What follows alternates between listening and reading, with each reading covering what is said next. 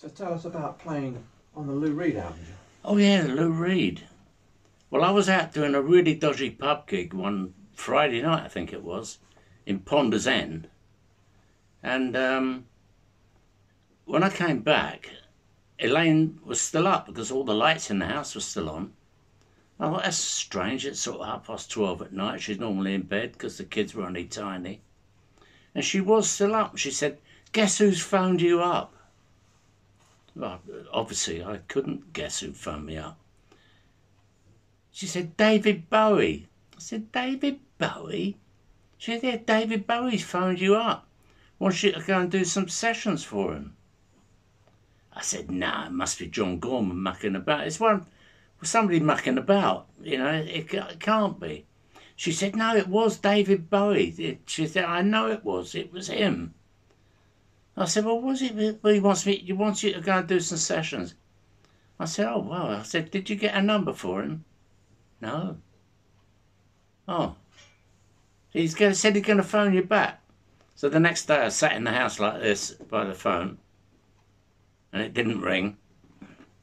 And uh, it went on for quite a few weeks, and then suddenly there's a phone call. Hello, is that John? David Bowie here? Oh, hello. Um, would you like to come and play on a, a Lou Reed album that I'm doing with, with Mick Ronson and a few other people? Yeah, okay.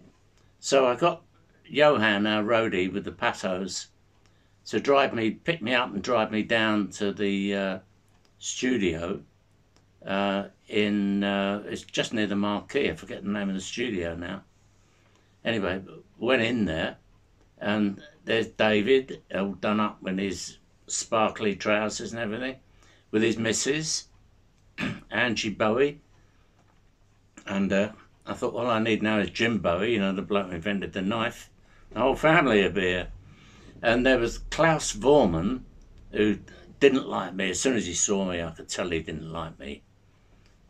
and uh, Mick Ronson, who I knew, uh, very, very slightly I knew him. He was a, a Patto fan.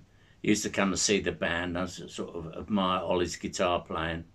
And uh, so I sort of got to know him a little bit.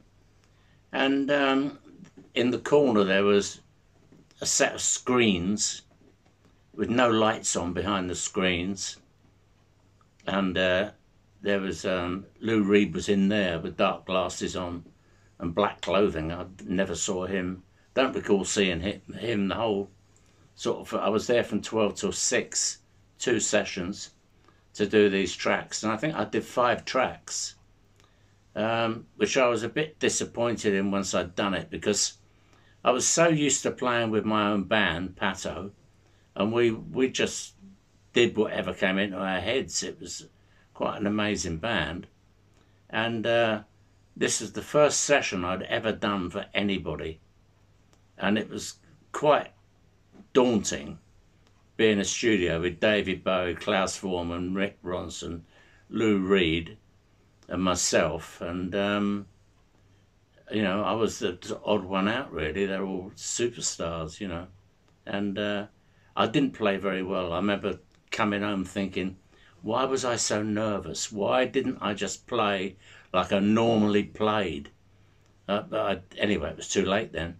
I thought maybe they won't maybe they won't use what I did because I I wasn't very happy with what I did, but nerves got the better of me, and there you go. They did use it, and it sold millions. It sold millions on vinyl, millions on cassette tape, and millions on CD.